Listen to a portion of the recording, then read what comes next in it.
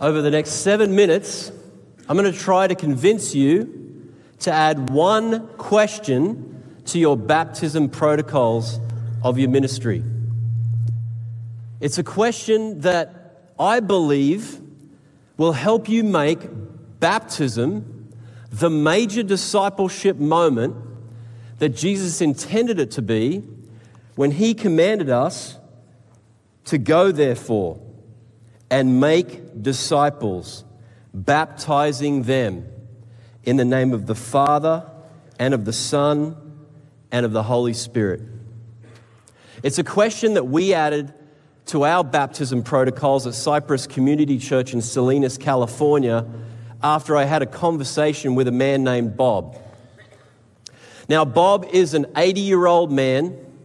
He's five foot six inches tall and Japanese descent. And four years ago, when he was 76 years old, he started attending our church and he subsequently believed in the gospel. And then soon after that, he was baptized.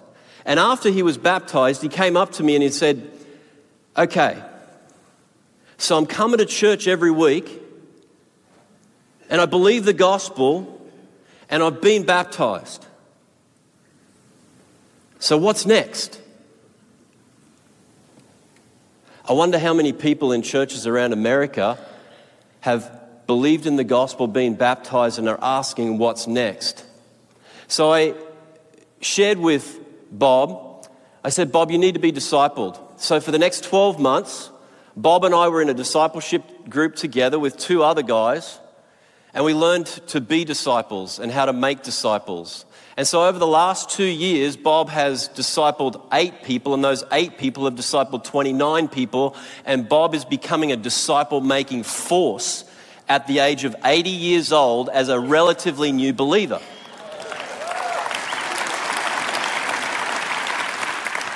But that's not my point. My point is, when Bob asked me what's next, I realized something. I realized the gospel I had been preaching was weak. And our baptism protocols as a church were insufficient. Because if you fully embrace the wholeness of Jesus' kingdom gospel, and if you've been baptized in a way that's made baptism a major discipleship moment, you'll know what's next. There won't be any doubt in your mind what's next. You'll be crystal clear on what's next. So, my staff team and I sat down and we pulled our baptism protocols apart. And as we were putting them back together, we realized we needed to add one question, and that's the question I want to talk to you about. Now, my friend and mentor, the leader of the Bonhoeffer Project, Bill Hull, I've, I've heard him say it a number of times. But he says, when you get baptized, you give up the right to say no to Jesus. So we had already put in place two questions in our baptism protocols that called people to begin saying yes to Jesus. The first question is this Do you believe that Jesus is the Christ, God's one and only Son, God's resurrected King? It's a question about who Jesus is. The second question has to do with what Jesus has done.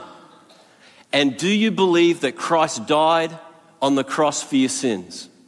And that he was resurrected from the dead on the third day in accordance with the scriptures?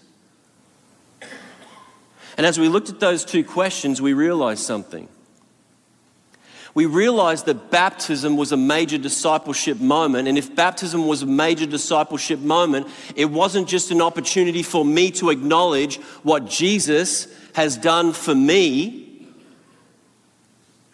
but it should also be an opportunity for me to pledge my allegiance to King Jesus, to commit my whole life, everything I am, and all that I have to serve Him.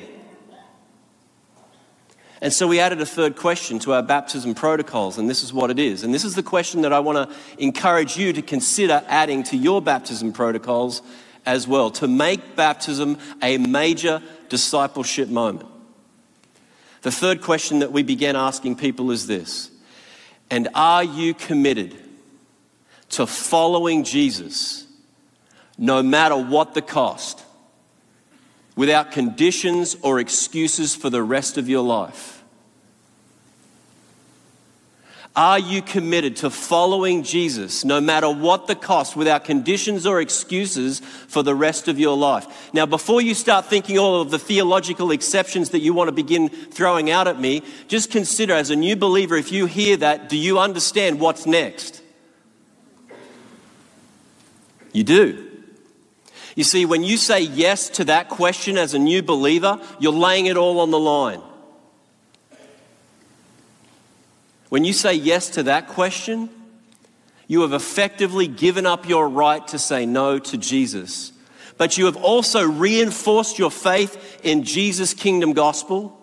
Through baptism, you have enacted what the Apostle Paul calls the obedience of faith. But you have also made it crystal clear that you know what's next. And what's next is a new life with Jesus of denying yourself taking up your cross daily and following Jesus. That's what's next. So, in the 30 seconds that I have remaining, let me ask you three questions. As you make disciples, is baptism at the forefront of your mind? Because it was at the forefront of Jesus' mind when he gave us the Great Commission. It was the first instruction that he gave us after he said, Make disciples.